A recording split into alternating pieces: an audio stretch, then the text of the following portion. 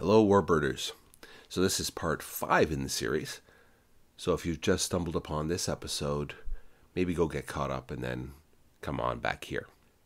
So, if in this series we've been comparing these aircraft to fledglings that died in the nest, the Moonbat almost didn't even hatch, even though it's a damned interesting looking airplane and would have definitely been chosen by a 1940s Batman as his personal aircraft.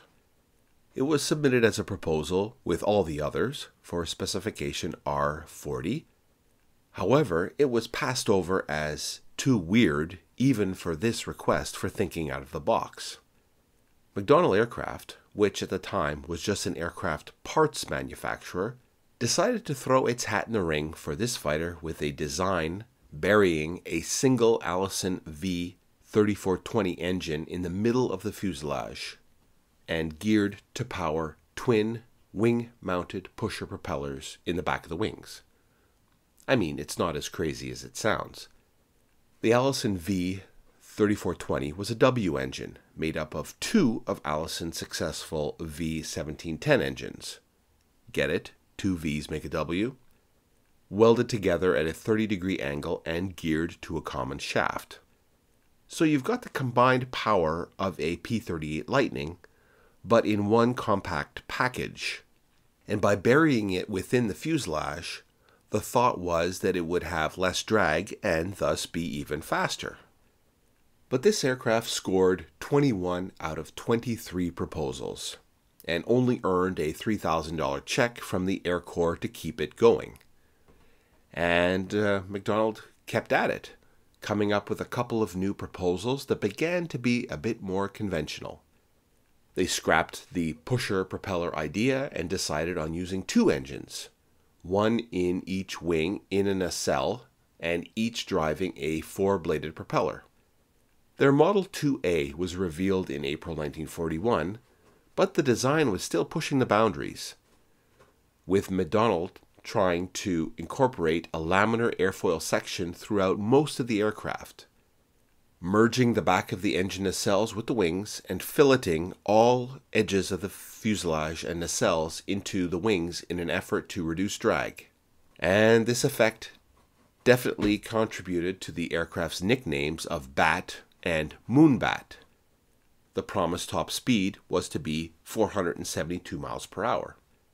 Finally, McDonnell caught the USAAF's eye, and in September 1941, a contract for two prototypes was granted with the designation XP 67. The new fighter was to have an innovative pressurized cockpit and be armed with an impressive 637mm M4 cannon. Engines were to be two Continental 1430 inverted V12 engines with twin turbo superchargers. Many delays pushed back the Moonbat from trouble in obtaining wind tunnel time, to the design needing perfectly smooth laminar airflow over the entirety of the wings and other surfaces, to engine cooling issues, to obtaining the new experimental 1430 engines themselves.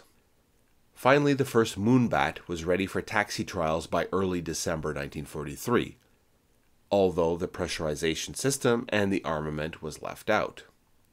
On the 8th of December, the problem of engine cooling popped up again when the aircraft was damaged by fires in both engines.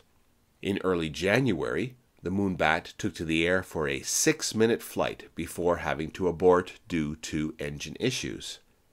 It was becoming apparent that the Moonbat didn't have enough power, and on the fourth flight, engine bearings were burned out when the engines were over revved. The 1430 engines were very disappointing and were turning out about 300 horsepower less than promised. In desperation, Jim McDonnell began pushing for new engines for the Moonbat. He suggested using a pair of Allison or Rolls Royce engines turning the props, with two extra Westinghouse turbojets in the aft nacelles. The Army rejected this idea.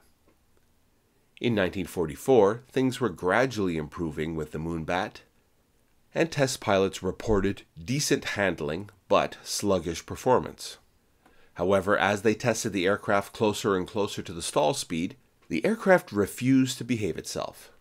it would buffet well above the actual stall speed, and its nose would tuck upwards during the stall. Test pilots feared that the stall spin characteristics would be even worse or even unrecoverable, so they just didn't go there. In September 1944, another engine fire caused an emergency landing and the sole prototype was destroyed. The second prototype was only 15% completed at the time. As the Moonbat was still underpowered, still had trouble with engine cooling, had maneuverability that was worse than the existing conventional fighters of the time and was only able to hit 405 miles per hour instead of the goal of 470 miles per hour, the Army decided to pull the plug, and that was that for the Moonbat. I hope you have enjoyed this series on American fledglings that never made it out of the nest. I know there are more, but those will have to wait for another day. If you have any suggestions for such episodes, please let me know. Also, please be aware that requests that come along with some PayPal support always have a better chance of being made first. Until next time.